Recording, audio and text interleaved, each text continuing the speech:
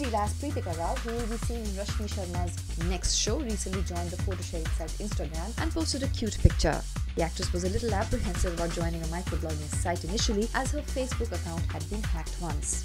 She is a younger sister of Bollywood actress Amrita Rao and Preetika shot to fame with the TV show Beintehaa. While like every other star, Preetika also found Instagram better than other social media. Powered by NNIS.